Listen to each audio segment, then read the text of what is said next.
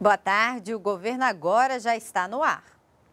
A Caixa Econômica paga hoje o auxílio emergencial a 3 milhões e 600 mil trabalhadores nascidos em abril. Luana Caire tem as informações. Ao todo, a Caixa paga hoje 1 bilhão e 600 milhões de reais de auxílio emergencial. Entre os beneficiários estão 2 milhões e 200 mil pessoas que vão receber a primeira parcela do auxílio emergencial, extensão de 300 reais. Outras 1 milhão e 400 mil pessoas vão receber alguma das cinco parcelas de 600 reais do auxílio regular.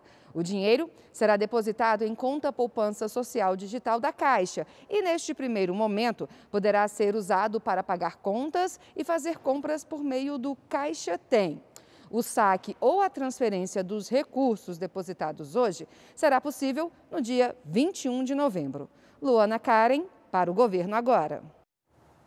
Pequenos empresários que estão em débito com a União vão poder quitar as dívidas com 50% de desconto ou pagarem até 146 parcelas. As condições diferenciadas de renegociação estão na nova lei de transação tributária.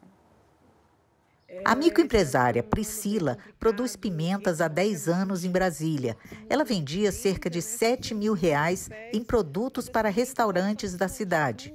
Mas com a pandemia, os clientes sumiram e chegaram às dívidas. É a prestação de carro, o IPVA, é o INSS, enfim, várias dívidas. Há poucos meses foi aprovada uma lei para ajudar principalmente os pequenos empreendedores. Segundo o Ministério da Economia, mais de 800 mil empresas inscritas hoje no Simples Nacional estão em débito com a União em valores de até 60 mil reais. A gente precisava de um instrumento moderno e justo.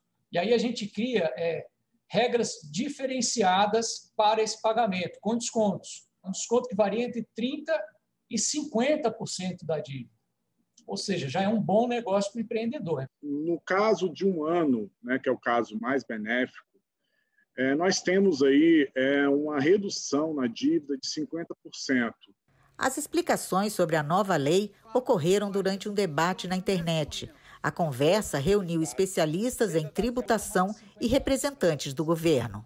Toda a dívida do Simples ela está incluída na transação, mesmo que seja ICM e ISS. Tá? Então, as empresas do Simples, elas estão abrangidas no processo da transação. Esta edição termina aqui. Tchau, tchau.